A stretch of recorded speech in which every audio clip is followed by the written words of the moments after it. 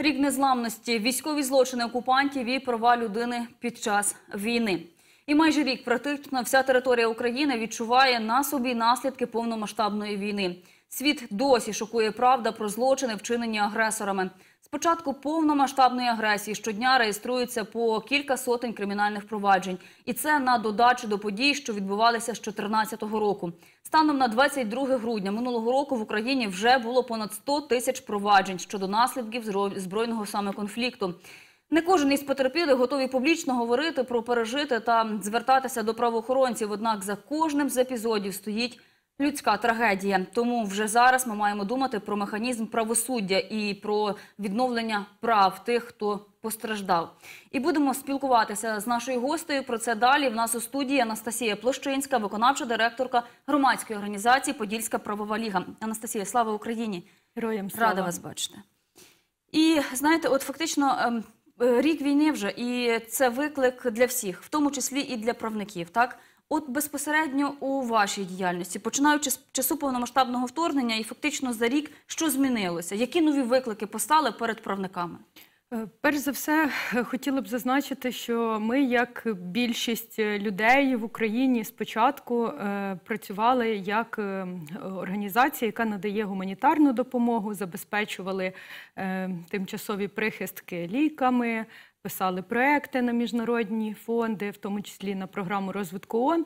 Так було протягом перших двох місяців. Після цього, ну і в процесі гуманітарної допомоги і волонтерства, ми зрозуміли, що все-таки як юристи, правозахисники, адвокати, ми є більш ефективними саме в сфері захисту прав людини, і саме цей рік показав, що це надзвичайно актуально. Е, Дуже багато людей потребують е, станом на сьогоднішній день е, захисту, і е, ще після нашої перемоги також буде багато таких людей, які повинні е, відновити е, справедливість е, і захистити свої права. Е, На початку е, березня минулого року, навіть можна сказати, в кінці лютого, була започаткована ініціатива е, розірвати коло безкарності воєнних злочинів в Росії, е, яка скорочено має назву Трибунал для Путіна. Наша організація Подільська правова ліга є членом громадської спілки Українська гельсінська спілка. І якраз у ГСПЛ спільно з правозахисно Харківською правозахисною групою, Центром громадянських свобод, Ластрада, іншими організаціями заснували таку ініціативу. І е, ми почали займатися е, новим видом для діяльності. Е, Більш активно у нас в організації раніше були юристи, співпрацювали з психологами. А протягом цього року, першого року війни, ми також наш, ряди нашої організації поповнились документаторами. Це люди, які фіксують порушення прав людини, які фіксують е, е, злочини проти людяності по спеціальній методології. Також е, на юристів е, покладено більше навантаження саме стосовно підготовки е, заяв скарг е, в Європейський суд з прав людини, оскільки е, багато дуже питань саме такого характеру з'явилось з травня, е, навіть з березня по вересень. Дуже багато було саме заяв е, в Європейський суд з прав людини. І також от безпосередньо документування, узагальнення е, фактів порушень Е, це те, чим ми зараз продовжуємо займатися, і навіть більш активно ніж минулого року. Анастасія, от власне інформацію зачитувала на початку, що на грудень, тобто фактично ще минулого року, так на грудень, було вже понад 100 тисяч.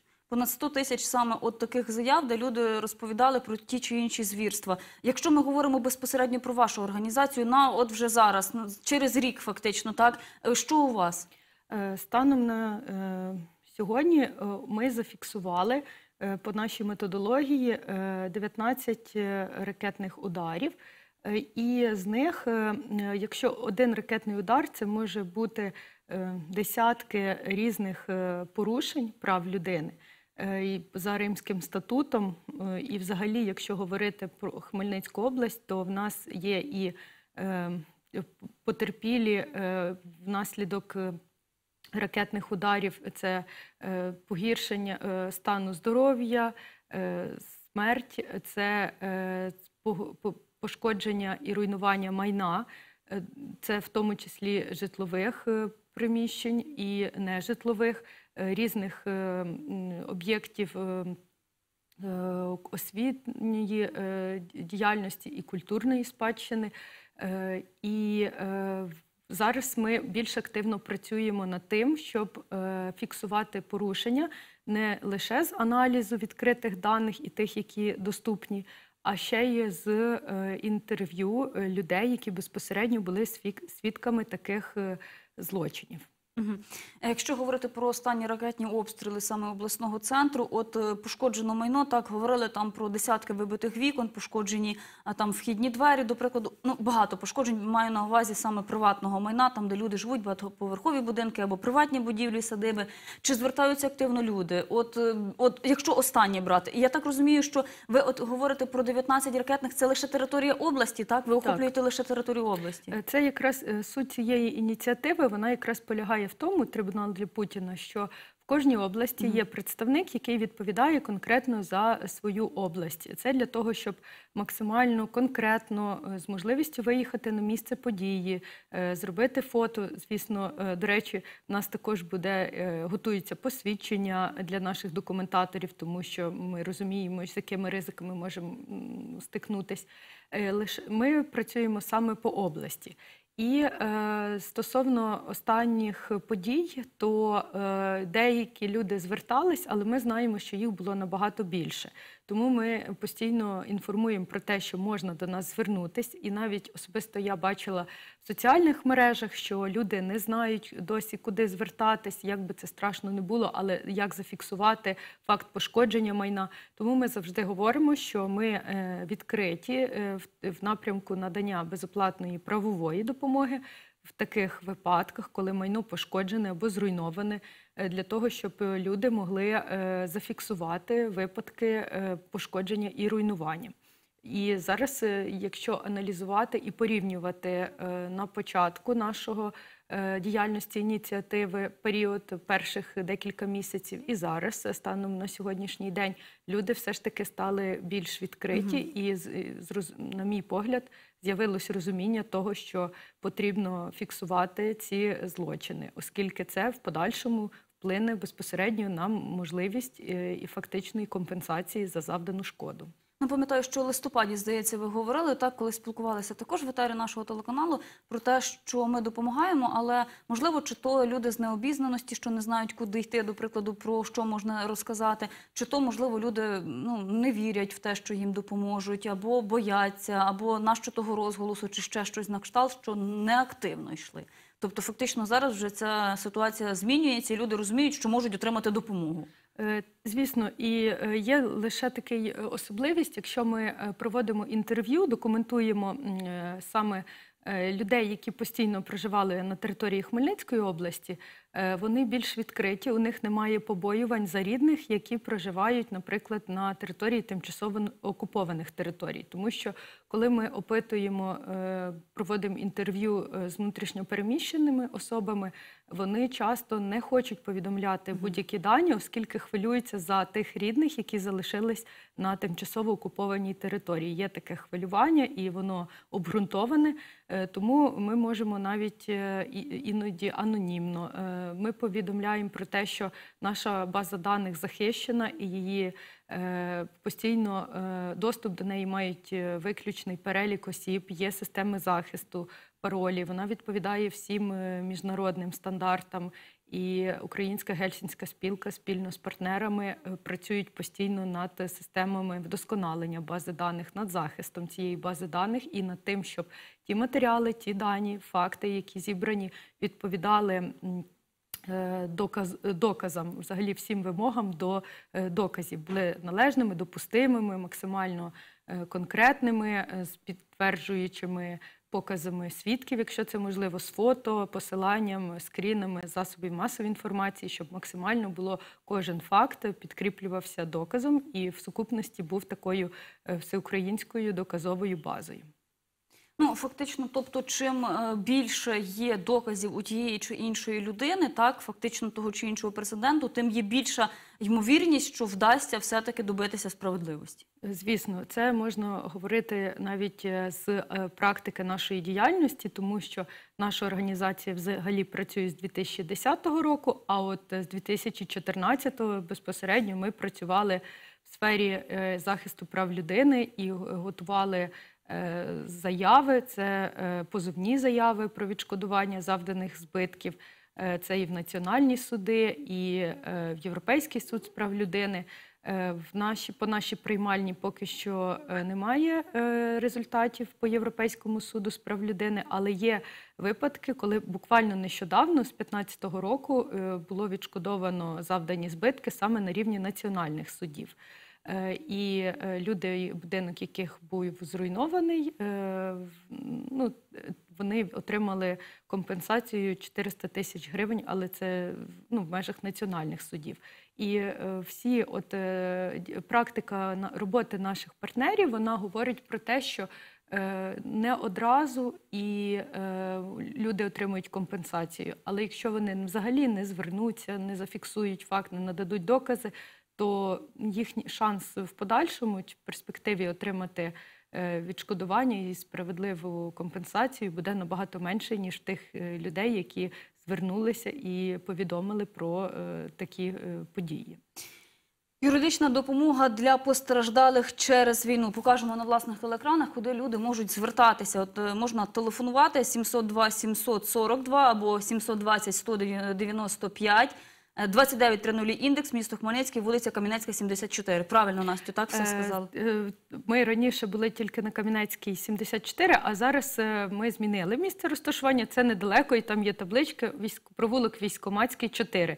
Е, Прошу не лякатись назви нашої провулку. Е, Ми знаходимося на другому поверсі. Е, Це колишня будівля е, облспоживспілки. Ми зараз там фактично надаємо правову допомогу. Це недалеко біля попереднього приміщення. У нас вже є окремо приймальня, де працює е, на прийомі е, два адвокати, і є адвокати, які працюють на телефоні. Вони на гарячій телефонній лінії, контакти зазначені, і е, можна до нас звертатись і в приймальню особисто, і по телефону.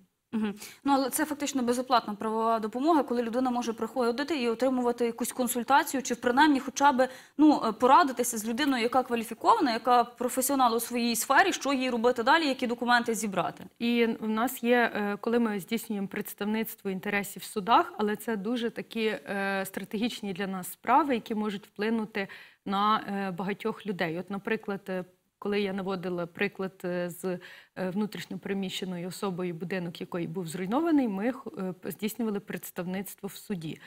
Ми минулого року особисто я, як юрист, як адвокат, і мої колеги, ми писали заяви в разом з людьми в Європейський суд з прав людини стосовно пошкодженого або зруйнованого житла.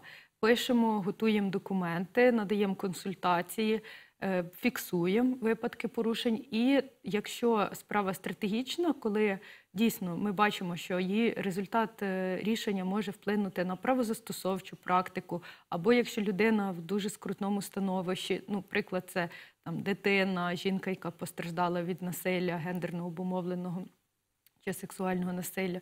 І е, ми в таких випадках, наші адвокати можуть на засадах пробону, тобто безоплатно, здійснювати представництво інтересів в судах. Готуємо запити адвокатські, якщо це потрібно, про доступ до інформації. Бо, до речі, іноді е, потрібно для того, щоб от і в Європейський суд звер- звертались. Ми ну зараз вже не звертаємось по факту пошкодженого майна. Потрібно були зібрати документи, витяг з єдиного реєстру досудових розслідувань, витяг з інших реєстрів, що людина, які підтверджують те, що людина була власником майна, якщо по майну говорити, або тут вже конкретно від ситуації. Нас тільки безоплатно, і в нас немає таких чітких е, бюрократичних перепон, е, коли людині потрібно зібрати багато довідок для того, щоб отримати допомогу. Просто потрібно повідомити про свою проблему і отримати правову допомогу. Настю, е, за весь цей період ви кажете, що задокументовано вже 19 ракетних обстрілів, так і е, це було пошкодження приватного майна, багатоквартирних будинків, навчальних закладів, підприємств. Е, Ви надаєте допомогу, ви фіксуєте е, власне ті злочини, так коли до вас звертається приватна особа, чи до вас так само звертатися може там навчальний заклад, комунальний, приватний підприємець, до прикладу, якщо пошкоджене їхнє майно? Е, Взагалі, це всі ці випадки вони підпадають під якраз нашу діяльність. Ми консультуємо всім, тому що всі люди є, і це як і фізичні особи, і юридичні страждають від е, е, від воєнних злочинів. Від е, тому ми консультуємо, звісно, всіх. Е, Супровід можемо надати лише фізичним особам.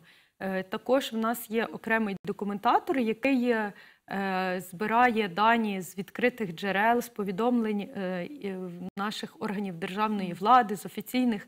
Він е, без звернення, без факту звернень максимально потрібно зібрати інформацію.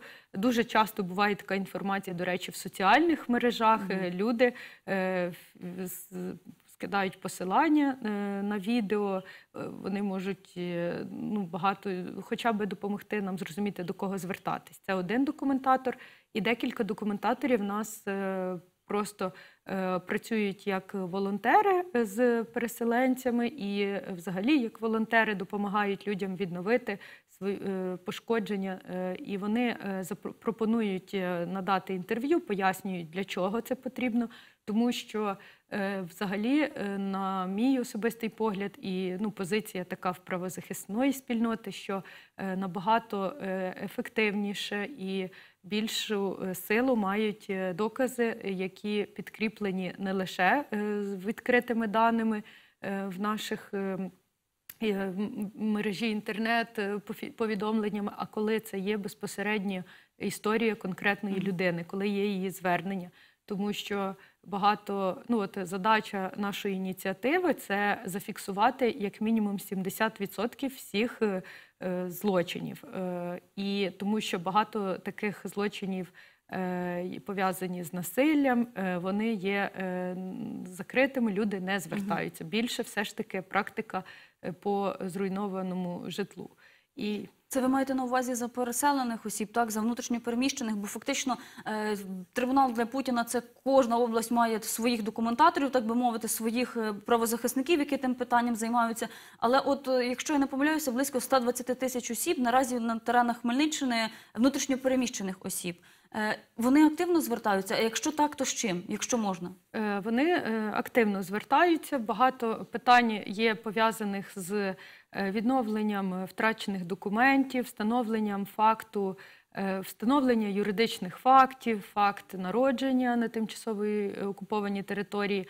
Встановлення е, факту смерті, визнання свідоцтва про народження, якщо, наприклад, людина померла на окупованій території, Пошкодження майна це дуже таке поширене питання, і це якраз ті люди, які звертались до нас, і ми допомагали е, в Європейський суд з прав людини складати, підготувати документи. Це трудові правовідносини, тому що багато хто переселився, а підприємство е, або е, ну, простій, або взагалі незрозуміло, де яка доля керівника по трудових правовідносинах, по сімейних дуже багато питань, по аліментах.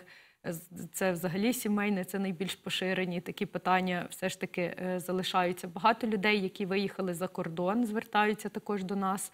Е, Це по в основному по сімейних питаннях, по соціальному, по е, допомоги у зв'язку з народженням дитини, соціальне страхування, соціальне забезпечення. Також багато питань пов'язаних саме з соціальними виплатами, е, продовження виплат на одиноких матерів. Тобто абсолютно е, таке широкий обсяг е, питань е, і різних, е, з якими звертаються саме внутрішньопереміщені особи. Нас- Анастасія, ну якщо до прикладу, коли люди зверталися там з питання аліментів, то це було і вчора, і позавчора, і рік, і два тому. Тобто, фактично, ви вже ну добре знали те питання, або там те, що стосується соціальної сфери, або там такого життя мирного. Але я не думаю, що правники були готові документувати воєнні злочини. Ну можливо, воно є так. Вони вивчали кожен десь там в університеті, чи де там хто вчився. Е, і нас, журналістів, ніхто не вчив розказувати про війну. Насправді ніхто ж на це не сподівався, ніхто того не чекав. Е, от коли ви були підготовлені загалом? Як от е, е, студіювали саме цю галузь? Чи досконали українське законодавство отут? Де можливо брали досвід? Е, Наша приймальня була готова, тому що ну, е, десь на 50% це я говорю за себе і за людей, які працювали до того, е, нових е, юристів, яких ми ми якраз прийняли після е, е, повномасштабного вторгнення. Е, Ми готували, навчали. В нас систематично проводяться навчання. Ми ж фактично навіть пам'ятаю особисто я в 15-16 роках займалась документуванням. Ну, У нас це було відбувалось по іншій трошки методології, але я особисто ну, займалась інтерв'ю. Полонених е, людей, які були в полоні, переміщених осіб, нас навчали ще тоді. От після 2014 року Українська гельсінська спілка з прав людини систематично проводила навчання для своїх юристів приймалень по гуманітарному праву. Е, Звісно, стосовно ем, режиму воєнного стану, я думаю, що багато хто не був готовий, тому що був лише закон по суті, а всі абсолютно зараз правовідносини. Е, Навіть в тому числі і сімейні, про які ми говорили, про ці аліменти, про трудові, всі правовідносини в умовах режиму воєнного стану вони е, по-іншому, майже е, майже всі по-іншому регулюються і мають свої особливості. Тобто доводиться вивчати, можна сказати, порядок реалізації тих чи інших прав і регулювання правовідносин по-новому, тому що є загальний закон і є вже закон про там регулювання трудових правовідносин в умовах воєнного стану, про порядок виконання судових рішень в умовах воєнного стану. Ці всі е, закони і порядок їх виконання е, відрізняються. Багато є прогалин, тому що ніхто, звісно, до цього не був готовий. Е, Практика постійно змінюється, багато ще практики немає, і я думаю, що багато ще буде е, практики в подальшому. Потрібно буде вирішувати багато питань. Тобто, звісно, що не, всі, не, не були готові юристи на 100% до документування і до такої ситуації, але е, зараз вже практика трошки напрацьовується, і вже люди знають, як е, реагувати на випадки порушень. Все більше людей дізнається про те, де можна отримати допомогу, хто її надає, чому важливо звертатись до юристів, ну і до психологів. Ми більше про юридичну говоримо складову, хоча ми вже також почали працювати із психологом, співпрацювати для того, щоб е, ну, люди мали можливість більш комплексний, е, е, комплексно отримати допомогу. Е, Настю, давайте ще раз. Починаючи з 2014 року і досі вже є успішні справи. Ви говорили про безпосереднє відшкодування з державного бюджету, я так розумію, так? Так. Е, Але це нещодавно з'явився е, безпосередньо висновок, так розумію? Так, це рішення Верховного суду е, в 2020 році. Тривалість розгляду всіх цих судових процесів це близько п'яти років. І є така практика. Це практика. Люди довго до цього йшли. Вони докладали дуже багато зусиль. І це було дійсно важко, тому що там складна була ситуація і встановити, довести факт е, порушень. е, Було складно, було потрібно е, здійснювати постійно запити. Е, Ну, втретє, суд е, найвищої інстанції, третьої, він фактично е, прийняв рішення, яким е, задоволив нашу позовну заяву про стягнення е, матеріальної і моральної шкоди. Е, По Європейському суду у нас не було такої практики, тому що там в 14-15 роках е, були певні відмови по е, зруйнуванню, бо тоді ще міжнародна спільнота європейська, вони фактично ж можна сказати не визнавали, що це конфлікт, що це війна. Вони визнавали, що це конфлікт. Там були свої особливості. Сьогодні позиція вже відповідно на ну інша міжнародної і спільноти, і в Європейського суду. Але на жаль, просто е, ми вже не можемо звертатись проти Росії е, в Європейський Мгм. суд з прав людини. Мгм. Хоча проти інших країн, е, в тому числі і проти України, якщо є порушення ну, громадян, якщо є якісь порушення з доступом до інформації, ми можемо звертатись в Європейський суд з прав людини. Анастасія, якщо в нас, до прикладу, от якщо брати позитивний висновок щодо справи однієї, це у 5 років тягнулося, так? І Європейський суд з прав людини, от ви як казали раніше, так що от раніше вони ну не зовсім дивилися, але вже зараз маємо рішення нарешті про обоїних. Ну, пройшло вже скільки? Майже у 2014 році це було, пройшло вже е, майже 9 років, якщо так брати, і нарешті вже те рішення є. Е, То чи можна сподіватися наразі, що от справи підуть у саме у Європейському суді з прав людини трішечки вже краще, що не треба буде чекати 5, 8, 10 років, до прикладу? Я чи в можете це- взагалі спрогнозувати? Я в це дуже вірю і сподіваюсь, і е, я е, впевнена в тому, що все ж таки відшкодування буде. Просто єдине важко по тривалості. І я впевнена в тому, що воно буде, якщо ми зараз разом докладемо зусиль до нашої перемоги. Тому що, як свідчать і Нюрнберзький процес, і Токійський трибунал, що е, відшкодування, процедури е, по е, притягненню е, військових злочинців до відповідальності, вони можливі е, тільки після перемоги. Тому нам зараз потрібно фіксувати всі Мгм. випадки, підтримувати е, наші збройні сили, волонтерити, допомагати один одному, і тоді ми зможемо е, обов'язково е, отримати справедливу компенсацію. Е, Настю, якщо до прикладу, е, ви казали, що ви супроводжували так людину, отут фактично від початку набралися терпіння і ви, і фактично позивач, і вже до того моменту, коли їй відшкодували, до прикладу, вартість зруйнованого майна і, і моральну е, компенсацію також. Е, Якщо говорити про Європейський суд з прав людини, це може бути або довго, або коротко. Ви кажете, що після перемоги вже все це загалом буде вирішуватися, і будемо сподіватися, що все-таки будуть розглядати швидко такі справи. Але тим не менше, от побутує така думка, що е, позиватися у Європейський суд з прав людини це дорого. Поясніть, будь ласка, яким чином загалом це відбувається? Е, Взагалі це можливо дорого, тому що люди звертаються до юристів і е, сплачують послуги в сфері права, оплачують. Але насправді судовий збір сплачувати не потрібно. І навіть в цей період, про який ми з вами говорили, про те, що ми допомагали внутрішньопереміщеним особам, особливо в кого там пошкодження е, житла е, або руйнування, то е, навіть для таких осіб не потрібно було сплачувати е, поштову відправку. Тобто це було абсолютно безкоштовно. Абсолютно. Навіть за те, щоб підготувати заяву, там була спрощена процедура. І навіть станом на сьогоднішній день е, витрати е, включають в себе, якщо людина звернеться, наприклад, в громадську приймальню до нас, е, в місто Хмельницький, в кожній області є такі громадські приймальні, куди можна звернутись і отримати консультацію, підготувати. Е, Є випадки, от якщо пов'язано це з війною, то зараз е, в основному всі юристи допомагають, консультують, надають безоплатно. Єдине, що потрібно оплатити, це вартість відправки документів. Не потрібно ем, приходити на засідання, як це вважають люди, що є виклик поїхати так в Європейський суд. Е, Такого не потрібно. Єдине, що потрібно, це оплатити вартість е, відправки документів. І потрібно знайти юристів, які працюють як правозахисна організація, тобто надають безоплатну правову допомогу і здійснюють захист прав людини.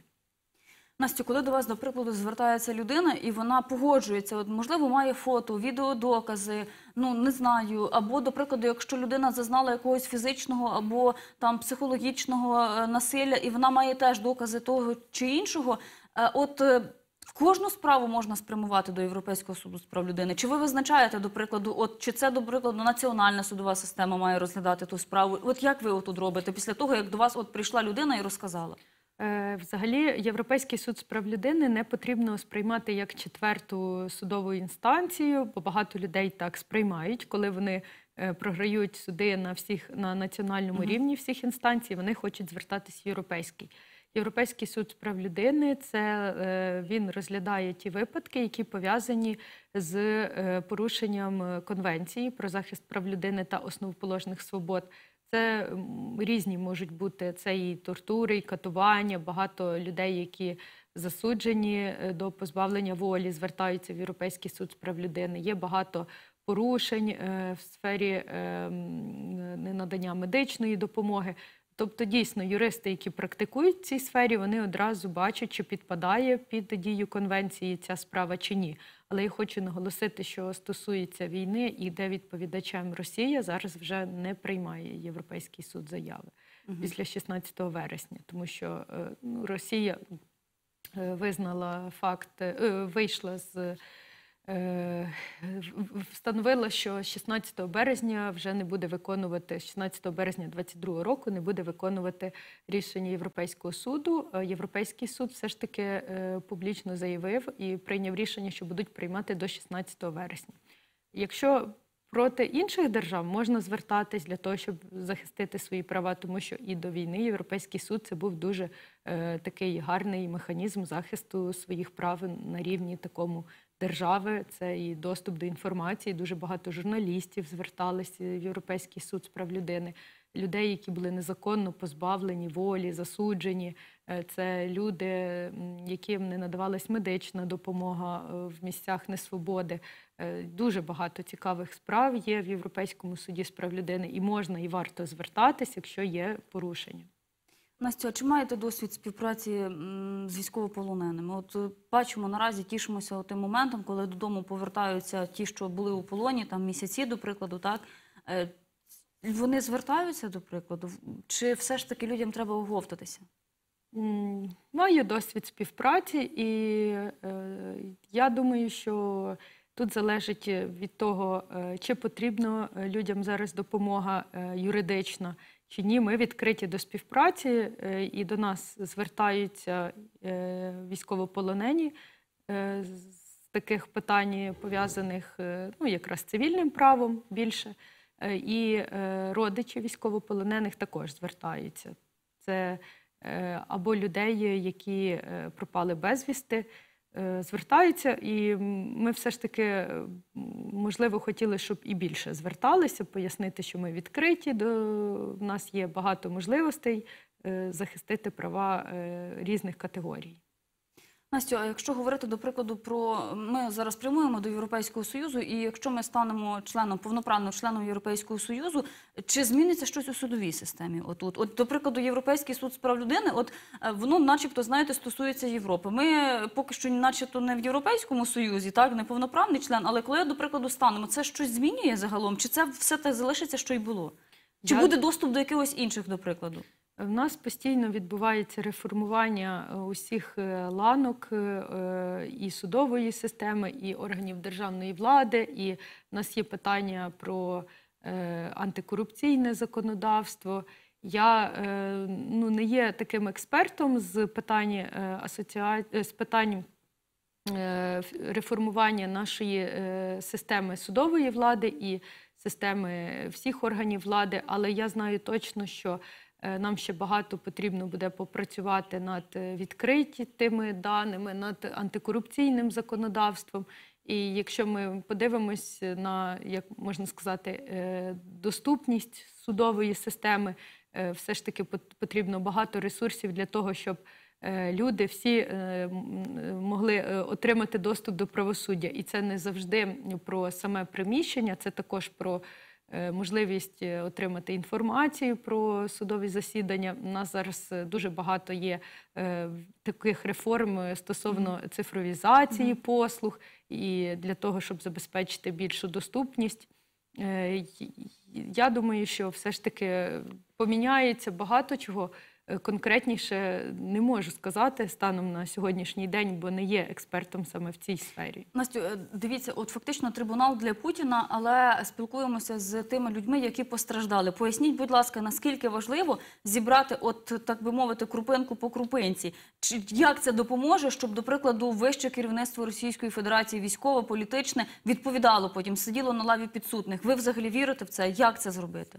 Е, Я вірю. Перш за все, е, як я вже казала, е, потрібно не бути байдужим, волонтерити, волонтерити і бути активним. Це перше таке. Після цього, після нашої перемоги, буде можливий такий процес. Хоча зараз ем, процедури по підготовці цього процесу вони здійснюються фактично ще з минулого року. Е, Потрібно е, дуже важливо, щоб кожен е, факт він мав ем, був індивідуальним, мав індивідуальний характер, тому що якщо ми говоримо про докази, то ем, уявіть, коли доказами є, наприклад, посилання на публікацію, що на якесь анонімне опитування, так на соцмережі або на публікацію навіть офіційне повідомлення органів влади, стільки було завдано шкоди, стільки вчинено е, кримінальних правопорушень, е, е, і в даному випадку злочинів проти людяності. А це ну, доказова база потрібно буде підкріплювати, хто зробив такі узагальнення, на якій підставі.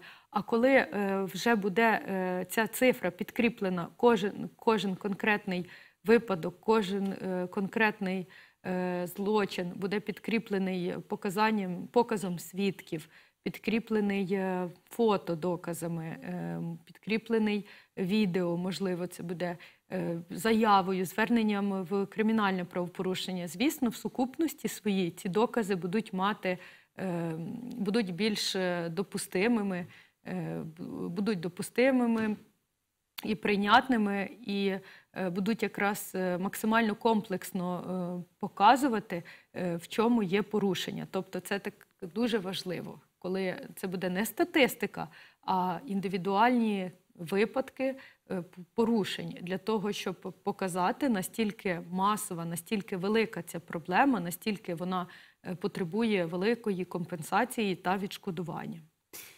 Дякую вам, Анастасія, що завітали сьогодні до нашого етеру і дякую за хорошу розмову. Отож, нагадаю, що гостею студії в нас була Анастасія Площинська, виконавча директорка громадської організації Подільська правова ліга.